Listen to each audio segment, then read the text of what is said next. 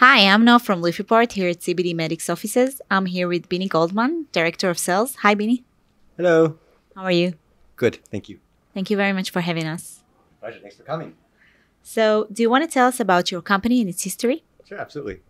So, as I mentioned, my name is Benny Goldman. I'm a director of sales for Abacus Health Products. Uh, and here we are to talk about CBD Medic. So, CBD Medic is our B2C brand. Uh, it's currently found in FDM, so that's food, drug, and mass around the country and around the United States, um, and is also sold directly on our website. So CBD Medic, and it's really important to understand a little bit about us, Abacus, as a company, uh, before we can get to CBD Medic. So Abacus is a pharmaceutical manufacturing company. Um, we are a daughter company. Our mother, our parent company is a company named Aidance Scientific, and Aidance is an also established pharmaceutical manufacturer. And Aidance specializes in topical skin care, so products about wound care, burn care, skin care, shingles, anything along those lines, uh, topical creams and ointments. So with our, our parent company, Aidance, uh, about five years ago, we actually ended up creating Abacus, and Abacus is the parent company for CBD Medic. Mm-hmm. So CBD Medic is our brand, and that's just important to understand the hierarchy of where that works out. So Aidance is the parent company, Abacus is the company that creates CBD Medic, and CBD Medic is this incredible brand that we have here. Um, so a little bit about us and, and who we are and what we do. CBD uh, Medic is an all topical line of analgesic products, meaning they focus on pain relief and skincare. Okay, uh, we have products that are from the full spectrum, from uh, to the athlete, from active sport, um, which we have right here, a product in a stick that's very easy to be applied, all the way to products for arthritis for people on the older spectrum um, that want products for their hands and their feet and something that's a bit more heavy use. Um, we also have products for skincare and we have products for uh, massage. So we really have a, a full line of topical products, but again, everything is topical and not ingestible. So tell us about the range of products and what the highlights of each product.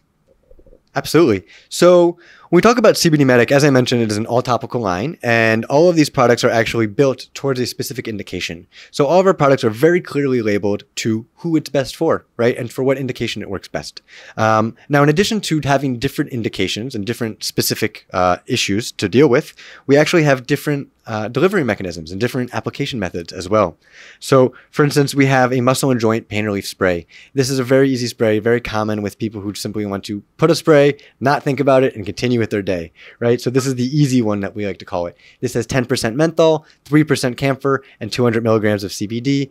Very standard day of the run of the mill product. Uh, very effective, actually. I, I, like to use it as well when I uh, don't feel like putting cream on myself. It's just an easy spray and I, I move on. Um, the active sports stick. Okay, so again, this is the uh, this is the product that's most common, most popular with athletes, people who don't want to get their hands dirty. They use this during their workouts, before or even after their workouts. Um, I personally recommend to use it before a workout. That way, it loosens up the body a little bit, gets the muscles warm, and and the blood flowing. Um, that's the active sports stick. Again, this is uh, one of the more powerful products. So this is 15% menthol, 10% camphor, um, and again, it's 200 milligrams of CBD. Now, if you're looking for something a bit more gentle, right? Because not everyone wants that full smack of menthol and the full hit of camphor. Uh, we have a massage therapy pain relief oil. So this actually is really nice. It's really soothing, uh, really gentle. Uh, it's got ingredients like frankincense uh, and argan oil, really nice calming terpenes and, and uh, emollients as well. Um, so this is actually um, three, 4% camphor and 3% menthol. Um, and again, 200 milligrams of CBD. Uh, so these are really uh, what we have as far as the different application methods. We use a stick, we use a spray, and we use an oil. Um, and then as far as our basic delivery mechanisms, we have a classic uh, squeeze top okay? Uh, and we have a handful of different products that come with the squeeze top. So these are, are really our, our regulars, if you will. Um, we have the back and neck that I spoke about previously. That's one of my favorite products. Uh, the back and neck has 15% menthol and 10% camphor as well.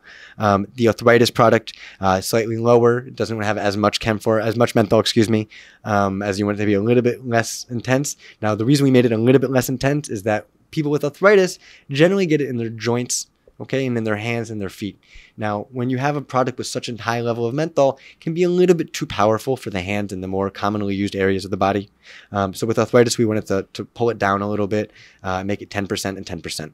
Okay. Um, now we also have our acne treatment. So we have actually a whole other side of skincare.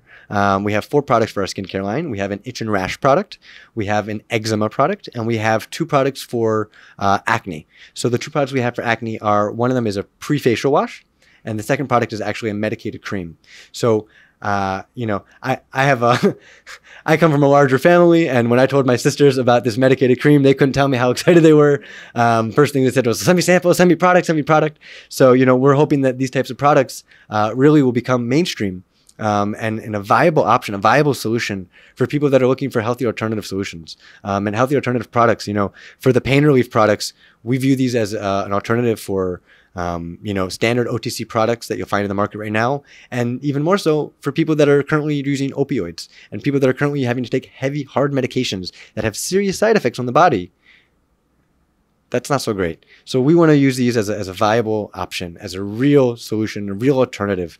Um, you know, that's for the pain products. For the skincare products, you know, I think about my sister when she was younger walking through the aisles of, of Walmart, you know, and or Walgreens or whatever it was, and trying to find real acne solutions. So we always want to make sure that there's a real healthy alternative, and, and that's what these are bringing to the table. So all of your products are uh, 200 milligrams of CBD, right? Correct. And they're all broad spectrum. Correct. All these products are broad spectrum, and they're all 200 milligrams of CBD. Uh, the different the different products have different varying uh, active ingredients, such as camphor, menthol, uh, salicylic acid, colloidal oatmeal, and so on. But they all have 200 milligrams of CBD. That's correct. Okay. So, what's your best selling product and why do you think it's such a good product? Great question. So, our best selling product is our arthritis product. That's this guy right here. Um, and there's a few reasons why it's our best selling product. The first one is it's incredibly efficacious, it works very well. Uh, generally, people who have been suffering from arthritic symptoms or arthritic problems, uh, this isn't the first solution they've looked. This isn't the first one they've tried. Um, anyone who's really suffered from any type of chronic pain can tell you, I've tried this, I've tried that, I've tried them all, right? Now, when you provide them with a product that actually works, they stay to it and they keep coming back. So people that have tried this product and, and really believe in it are very loyal believers, and we've created a very strong core uh, group of people that swear by this product. Um, so first side of it, as I mentioned, is the effectivity of the product. The second side is the messaging. By being able to call our product arthritis, aches, and pain relief ointment, it is very clear to the end consumer what this product is for and what it does. And that is not common in the CBD industry right now. Okay. There's so much mislabeling. There's so much insecurity about, or, or better yet, just uncertainty about what is actually being said. Right. Um, you'll see some of the main top companies in the industry. This is a moisturizing cream. We don't play that. This is a pain relief cream. This product will help you relieve your pain. Okay? And that's what we're very clear with. We don't play games about depression. We don't talk about cancer, God forbid, or anxiety or stress or any of those other claims you'll see floating around the CBD industry. These products speak directly to what they're good for, and they're very good at that. So that's what makes it, in my opinion, the best seller. Um, my personal favorite is actually the back and neck. I don't have arthritis yet. Um, hopefully, not for any time soon. Um, but I do exercise and I am an everyday individual who sits in the office nine hours a day. I get back pains. We all get back pains every now and then. You're doing the dishes and whoop, something, something got a little caught up. So I'll take this and I'll apply it to myself. Uh, I use it probably about once a week. Take just about one to two grams, apply it to the affected area. We're good as new. Um, so that's probably my favorite product. It's great. So, speaking about your ability to discuss the intended use of each product, what sets you apart from other CBD companies and what makes you unique? So that's that's a, a deep question. Um, what sets us apart is really, in my opinion, um, what we stand for, and and what we believe in, and the quality of product that you'll get from from CBD Medic. So our background is rooted in science and development and innovation in, in formulations, right? We're, we're an experienced pharmaceutical manufacturer. We've been doing this for over 15 years. Um, this wasn't, hey, let's try to start something new from zero. This was, okay, let's take our know how, let's take our background, let's take our experience, and let's put forward a new foot. Let's put forward something new that we're confident in. So when we took all of that know how, all of that experience, and we, we put it into a new focus, right? This new CBD focus well, we really weren't starting from zero. We are starting from 50, from 60%. And that puts us much closer to our end game of where we actually want to be. So, what we offer is we offer real products that have real claims that have real results, right? That separates us from the entire CBD industry. There's so much talk about if, what, when, potentially. Well, it might help. I don't know. Who says it won't, right? We don't buy that. These products will do what they are said to do. Very straightforward, very clear. You wouldn't go to buy a laundry detergent and then find out it's pizza sauce. You'd be very frustrated, wouldn't you? So too with these products. These products are pain products. These products are skincare products. They help with acne. They help with eczema. They help with itch and rash. And that's what they're going to do. So being very clear with what we do, uh, taking our, our scientific know-how, taking our, our research and development know-how, taking our, our ability to formulate top-notch products with real quality ingredients, and then providing that transparency that's existed, right? It's, it's we like to call it where East eats, East meets West, right? Pharma meets holistic, right? And we're taking the the, the pharma know-how with the whole the wholeness uh, and wellness transparency, right? So all of our products are, are third party tested. We have COAs available on our website that you anyone can see and, and, and view. Um, you know, it, it's taking that real pharma know how and mixing it with today's modern desire for transparency and for real products that are not going to, you know, send you for a loop and say, well, it could, might, should, would have, whatever.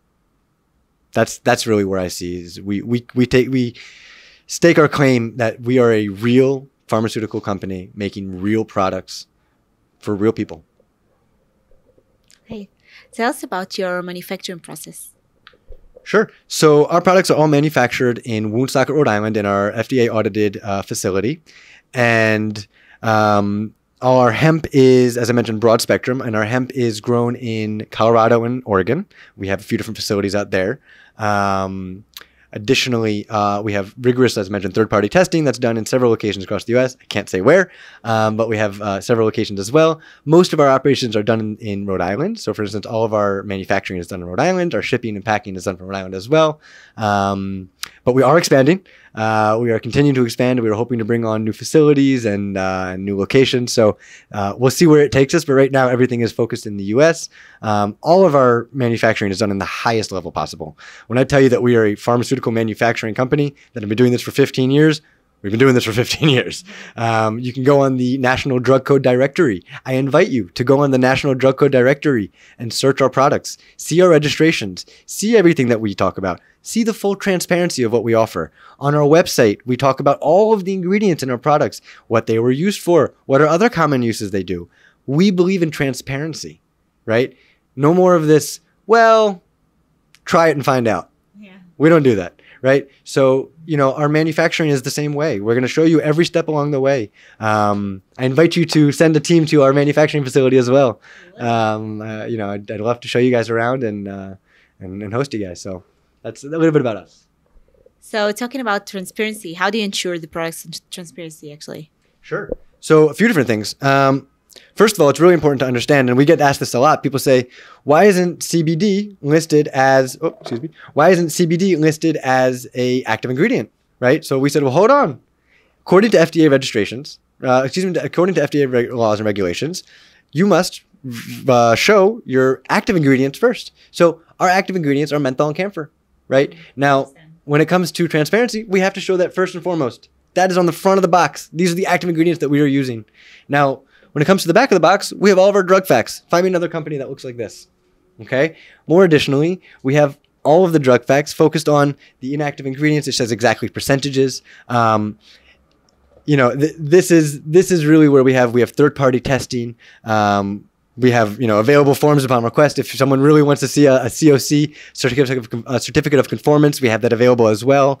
Um, you know, any type of testing that is that is known to the industry as what we're doing uh, to make sure we're putting our, our safest and highest quality products forward. And do you publish your third party lab results online? Of course. so you can find it online on your website. Absolutely. Absolutely. Okay. Um, so, how do you see the future of the CBD industry? My favorite question. How do I see the future of the CBD industry? Um, well, there's a lot of regulatory framework that needs to be put in place before big steps can be taken forward. Um, there's a lot of, of legal hurdles and obstacles in the way right now, um, as well as um, the many need to become the few. And what I mean is there are thousands of CBD companies on the industry. That won't last. That's not going to survive. Um, those who can't run will fall, and those who can run will start to take others with them. Um, and and I believe we're going to see a lot of uh, consolidation across the industry uh, in the next two years. Really, um, a lot of mergers and acquisitions as well as uh, bankruptcies.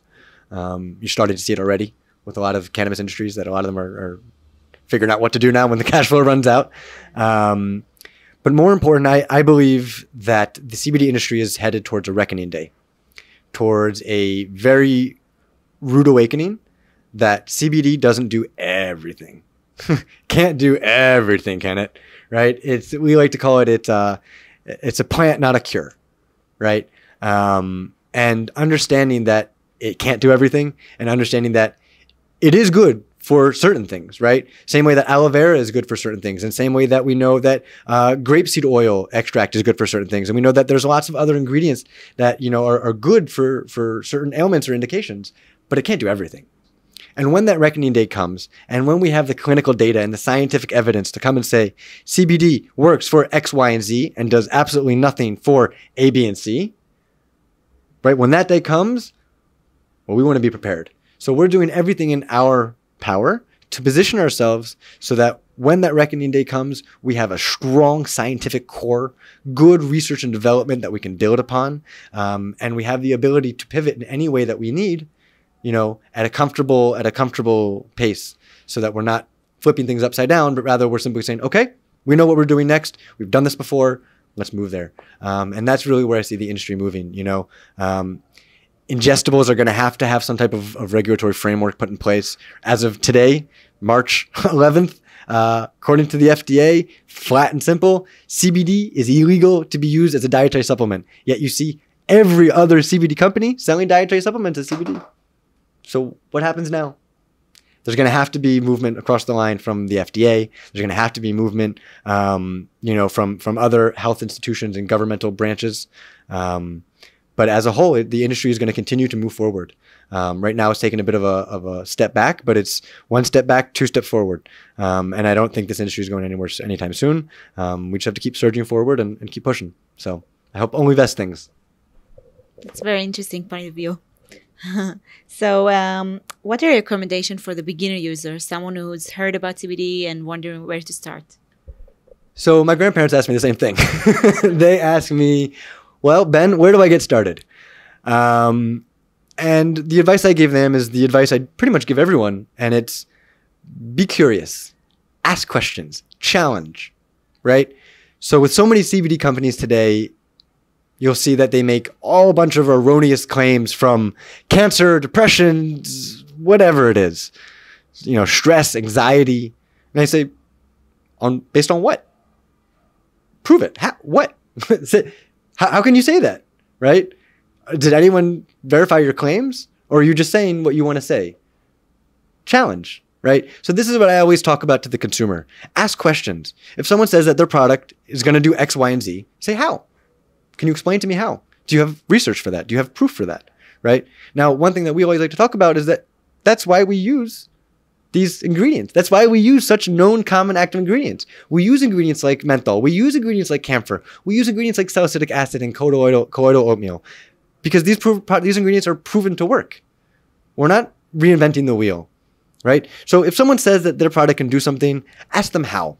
That's my first question. The second thing, it's important to look at, you know, who's the company putting it forward? Who is this company? Are they a bunch of dudes sitting in a basement? Or are they a real pharmaceutical company?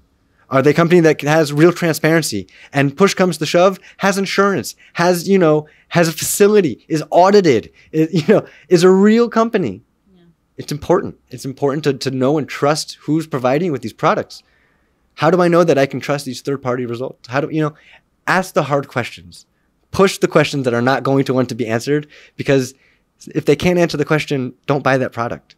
Only buy the products for companies that can really stand behind their product, can say what their products can do, can feel comfortable and confident about the transparency and the levels they're providing. You know, it's kind of like you wouldn't put something into your body that you're not really sure where it came from, right? Well, this is no different. So, you know, um, I'm always a little bit baffled at the uh, adoption that people have taken to CBD tinctures and oils when there's so little understanding about how it works systemically throughout the body. Um, you know, whereas our products take a very simple, direct approach. These are topical, localized products, uh, straight to the root of the pain, straight to the source, no ifs, ands, or buts, pain. so, um, you know, really the, the important question I, I would say like this who's making it? What's it supposed to do? And how is it supposed to do it? If you can answer those three questions, should be good to go. Great tips. And thank you very much for having us. It was a pleasure talking to you. My pleasure. Thanks for coming. Thank you.